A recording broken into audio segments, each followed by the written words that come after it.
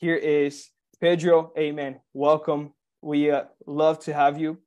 And let's start off by asking, who are you? Please talk a little bit about yourself and your the direction you want to head with Builderall.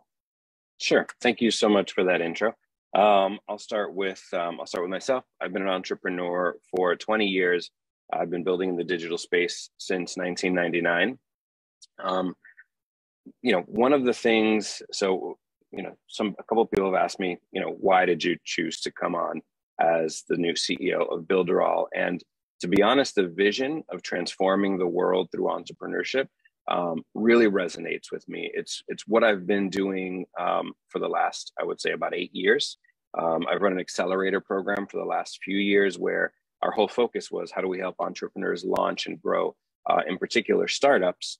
And what you guys have at Builderall is an amazing sort of uh, almost like a, a, a leapfrog onto what we were doing. Right, we were helping maybe 100 or 150 entrepreneurs at a time, and you're able to help tens of thousands of entrepreneurs at a time. So the vision really sits well with me. I love what Builderall's built. Um, actually, the plan is to maintain and continue that vision of transforming the world through entrepreneurship, obviously using digital marketing as the tool to get there. So our focus is, you know, very much around people. We want our team to be secure. We want to um, look at what our users are saying and bring that user focus into all the products we develop. Um, and that's that's a little bit about where i'm coming from. Yeah absolutely. So again i don't think we're changing any any major vision on builderall right? What we are doing is honing in to people a, a little bit. I think we've built a lot of amazing tools and a lot of great products over the last you know six to eight years. Um, now i want to start to listen to what our users are saying they want to see from those tools. So how do we make MailingBoss you know the next level mailer? How do we make cheetah or or, or builderall builder the next level builder tool when you're coming to build a website or landing pages? Um, i didn't mention i didn't talk about this earlier but um, obviously i'm coming aboard as this new ceo the company was acquired um, the acquirer was an organization named Cloud Builder. It's run by someone named Chris Kurzweg. I've worked with Chris for over 20 years. Um, we worked together since 2001, and we've actually done this before. So he he took over a company. We worked together to kind of um, turn it around. Uh, not that it was in a bad place, but just making it healthier, making it more user focused, making it um, more stable from a cash flow position. And I think that's what we're looking to do here, right? We know we've got a, an amazing base, we've got an amazing platform. How do we now uh, turn the focus just a little bit more towards what our users are saying and continuing to deliver what they're asking for, while also creating an organization that continues to grow um, and opens up more opportunities for our partners, uh, which we value as well. Um, and, and, again, as our focus on on, on people, um, I'm here to listen. I'm here to make sure that if if you've got concerns as a user or a partner, um, those those concerns are being heard and they're being addressed. And um, and it's it's really you know kind of par for the course in what we've done in the past. I see Builderall as having three pillars to what makes us uh, a successful platform for our users. The first is, of course, our suite of tools, and we are going to continue to improve those and and make them better for our users. Um, I'll jump to the third one because the third one I feel is community, um, and that's really our ability to jump into these groups, our ability to connect with other entrepreneurs on the platform, and then to address your question directly. Our second platform, our pillar, is essentially our training and our education, and so we want to actually make that more a more integrated part of Builderall. We want to make it a stronger um, component to our offering. So every time you're looking to build something, you're going to have a resource at your fingertips that explains not only how to use it, but also like what are best practices, what are the what are the the top marketers, the top business people in the space um, doing strategically and then how do you use these tools to, to copy that so absolutely i see it as a core pillar for builderall and where we're looking to, to go and how we can support our users more. Um, so I do see training as becoming even more integral. Well, I'll address that uh, the original plan from what I saw on Builderall 6.0 was to add several key tools into our platform. And we still want to make that happen. That's still part of the roadmap. However, I did kind of pause our development of these two um, new tools, which I know people are very excited about. It's it's a chat product um, that integrates directly with social media. It's it's very cool. It's exciting. It is coming up. It hasn't we haven't stopped on that, but we are prioritizing um, some of the user feedback we've seen come through. Um, a little bit on the, the usability of some of the products, a little bit on the stability of some of the products, and a little bit on, on the effectiveness of some of the products. So we are taking all of the user feedback, and and I want you to know if you're listening to this or you're or you're watching this, um, we do watch all the comments that come in. We do look at every single message that comes through, and we and we look at it and we consider it as we're looking at our roadmap. So Builderall 6.0, we're calling it like the user um, the user release, right? This one is is the one that's designed to whether you're a first time user in Builderall or whether you're a power user. Um, and we've got actually great, you know, Shelly as a power user has been providing amazing feedback that look, if we do this, the power users are going to be frustrated. And then we've got, you know, first time users who are getting in there and looking at the product and saying, you know, I don't understand this as someone who's never plugged in before. So we're creating a, a, a set of tools that adjusts based on the life cycle of the user. And the new platform is going to be way more intuitive. It's going to be faster to, to navigate. It's going to be easier to use and it's going to be more effective. And that's our focus for 6.0. And then the new tools will come after that.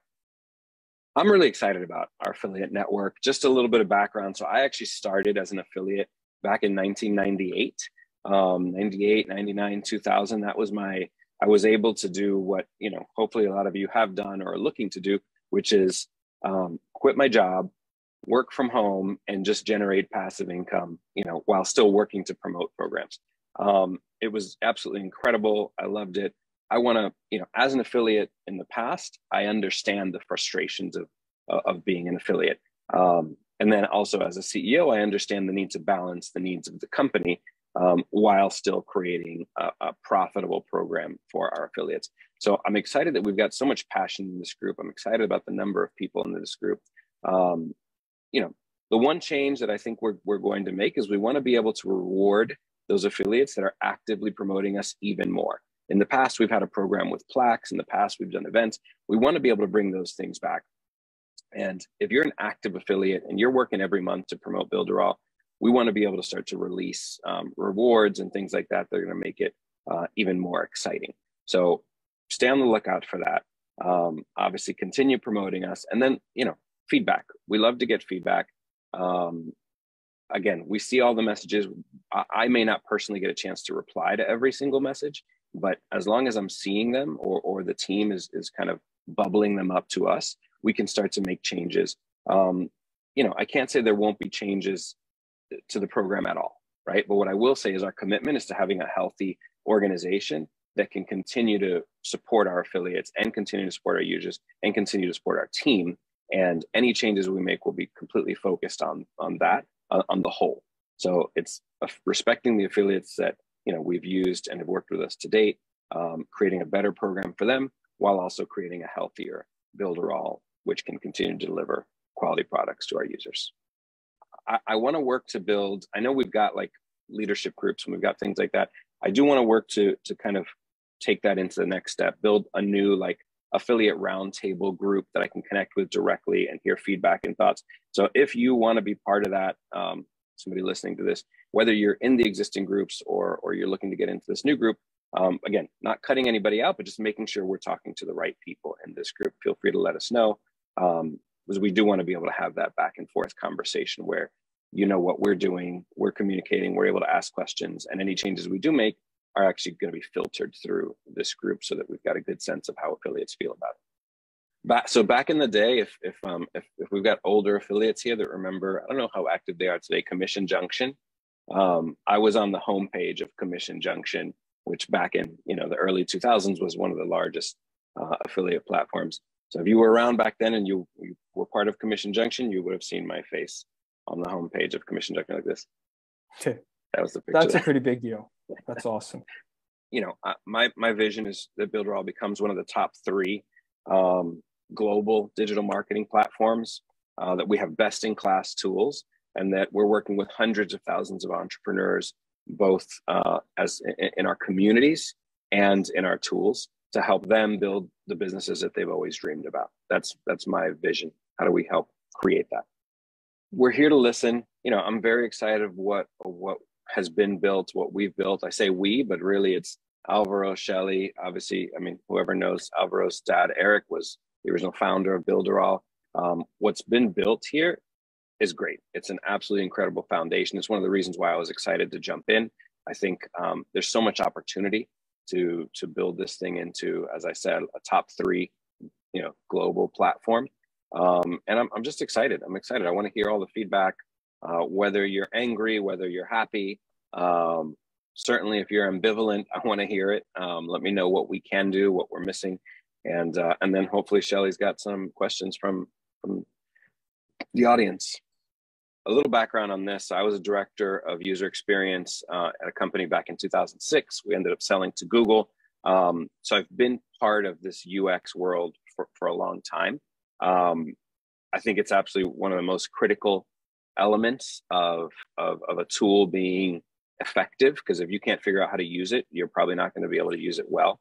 So we're bringing a, a consistent UI across all the tools. And as as as the two here know, um, part of that process was like kind of breaking down all the all the preconceptions of of our tools and and getting to rethink them from the ground up, implementing our entire design team, our entire development team to to reimagine what is the right experience here, both again for a first time user and from a power user. So our entire UI is getting reworked. We want everything to be within you know a couple of clicks from wherever you are we want you to be able to switch between tools very easily we want you to be able to understand actually the benefit of the tool right why you should be using it and what are the the kpis or the the, the metrics you should be looking to drive from it um, and then of course looking to integrate any type of training or strategic instruction or coaching into the platform so that not only can you get in there and figure out how to use it you can also access some resources which I think is also part of the experience, right? Understanding how to use a tool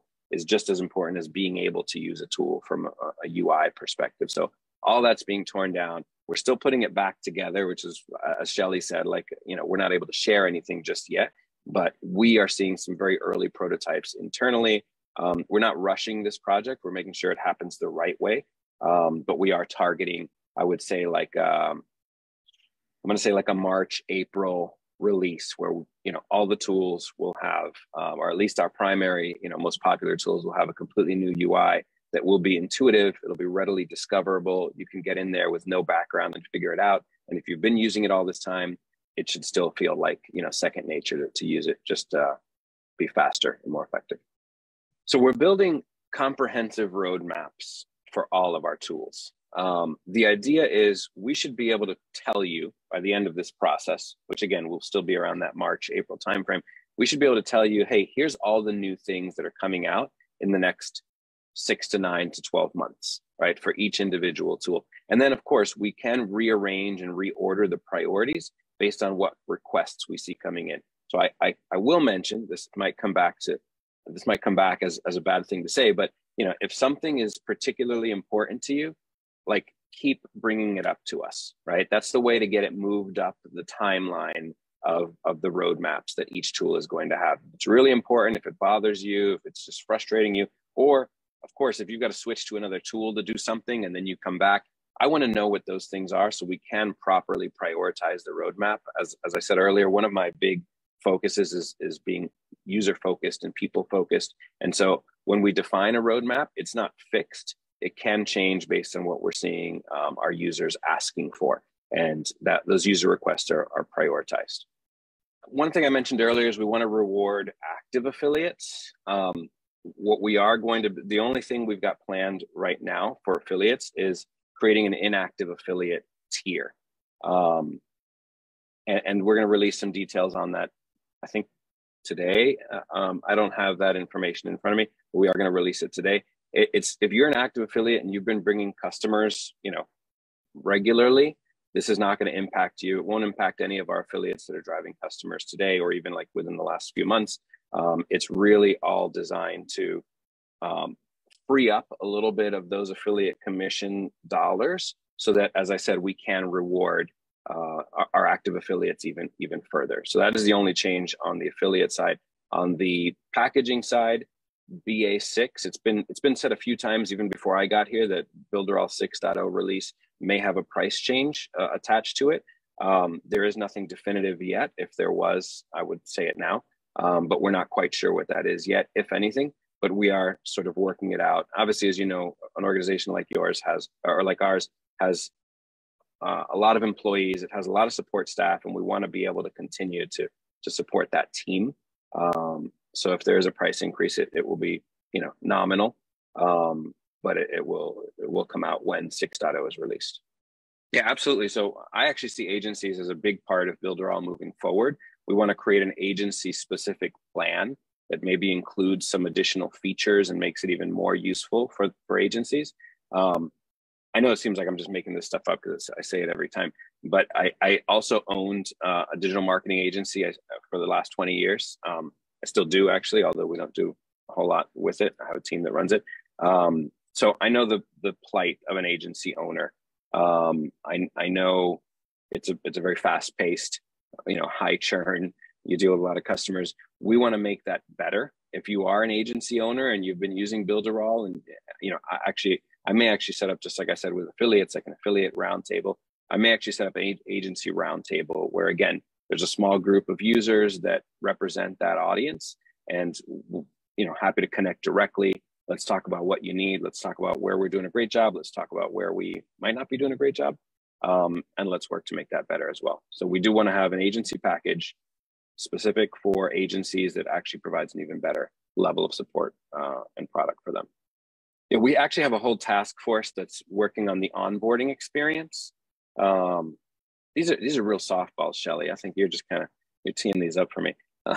We do have a whole task force that's designed to think through the onboarding experience. And they're you know they're going through you know as you get in what's the first thing you see right after you get right after you you sign up right? What does the dashboard look like when you have no content in there? When you start actually launching you know your first landing page or you've got your first email list what does the dashboard look like then? What analytics are we showing you? Uh, what videos are we are we bubbling up to the top? So that is in the works. I think that task force is probably going to exist for a long time and they're going to continue iterating on that onboarding experience, but we are taking it very seriously. Just like any SaaS company, uh, uh we have, you know, over 50% of our users who start on day one don't make it through the, to the second month, right? And, and that's very serious for us. We, we want to change that number. We're watching it all the time as we start to release these new updates if you're not getting that experience and you end up leaving, uh, it's going to trigger for us okay what happened to that person? What didn't they see? What were they looking for? How could have we made that experience better? Um, so it exists it's in progress uh, i think people are going to start to see things uh, come out even before builderall 6.0 that impact that that experience. Um, but again it, we don't want to rush anything. We want to make sure it's well thought out. We want to make sure we've got feedback uh, before we push it out there. This company is largely um, started in Brazil, you know, powered from Brazil. Uh, we have no no plan to to change any of that focus. We see the you. I mean, we've got actually large segments of audience in in Brazil, in Portuguese, in the U.S. and in English, and across um, lots of Latin America in Spanish as well. Um, there are a couple of so we one of the things I did initially was run a P&L across all of our languages, right? Because it does take it does take resources to, to power the, the, the platform in different languages. And I just got that information back last week. The nice thing is we're positive across the board. Um, there may be a couple of languages that we're supporting today that have like less than 50 users, which we may decide to, to support a little bit less in the future. But it's none of our primary, uh, none of our primary uh, languages. Um, we support now. I don't know, Alvaro, if you know how many it is. It looked like I don't know, 15 different languages. It's about 20. About 20. So mm-hmm. we might bring that number down to like 18, right, over the course of the next year with the, the countries that um, that maybe don't have a lot of users. But uh, in general, you know, I think what we're doing is actually making it stronger because we're making a more consistent message across all, uh, you know, Builderall global, right? In in Brazil and in Latin America and here in the States and in Europe, we're going to have a more consistent message, more consistent set of promotions so that all the users are looked at uh, and treated uh, the same way. I think it's the natural progression mm-hmm. Um, there's a lot of really exciting AI tools in the back end. Actually, Alvaro was was leading sort of the integration of AI into into our back end processes, which is uh, essentially going to to now start to flow out to the users. We're still a ways away from that, though. I'm not going to say you're not going to see an AI integration in Builderall 6.0 in two months, um, but I think by the end of the year it'll be on our roadmap, and you'll start to see some some uh, additions in there. I think in some cases, um, I don't think it's across the board. We're not looking to raise raise everybody's prices, right? If you're in Builderall today and you've been a customer for for three years, you should be rewarded for that loyalty, and we want to maintain that. Um, there are a couple of instances where um, it may actually be hurting us. Um, I don't think that's the majority of customers. I think it's a very small percentage where maybe like they're using a lot more resources than than they're paying for. And what that does is it, it threatens the health of the company. And I think in those very select instances, we may need to reach out to those users and inform them, you know, hey, we either need to to you know to make some kind of change or um, give them an alternative where maybe there's like a use limitation. You know, hey, you've got this huge mailing list. If you reduce the size, you can keep the same pricing. Otherwise, we are going to have to bump it up. So again, we have to make sure the company is healthy, right? And if the company's bleeding money, that doesn't help our affiliates, it doesn't help us, nor does it help our users, right? We need to be in a good place that we can continue to provide great, amazing tools so we can continue to provide good service and actually improve our service. One of the things we're changing um, in February is we are going to a longer uh, support time schedule. So right now, if you were trying to reach support, it has to be between nine and five. Um, we're changing that to from nine to 10. And then we're also opening up some weekend hours so that you don't have to wait as long for a support request. And again, those things cost money. We want to be able to, to, to provide those things. Uh, so there may be some changes in the future, but I will say it's going to be done thoughtfully. It's going to be done um, through communication, and it's not going to be widespread. You know, hey, we're changing the price by twenty percent for everybody. That that would be irresponsible. I think it'd be a little bit silly, um, and that's not how how you know we reward our long term customers. Yeah, absolutely. There will also be like a voting feature where if you see somebody else has already submitted a, a similar suggestion, you can vote that up. Um, we are going to implement that probably actually Shelly is going to be um, monitoring that because she's going to be taking more of, a, of an even deeper lead on the product side. Um, so yeah, we are going to see that. You are going to be able to vote, um, and then you will be able to connect that to a, a, public roadmap and see. Okay, this item is set to be you know completed in June or something like that. My email is is open. You guys can share my email. Um, it's just pedro at builderall.com. Pretty easy. P E D R O at builderall.com. Um, I love to hear feedback. I love to hear thoughts. If you, you know, once we we create, we launch this platform, we can start to collect this feedback and really kind of bubble it up and, and vote on it. Um, we will certainly make you aware. In the meantime, you know, we're all sort of collecting it and considering it as we build these new tools. And I'm excited. I'm excited to see where we're going to go. And don't forget to build something amazing in Builderall. Bye, you guys. Have a great week. Bye. Bye.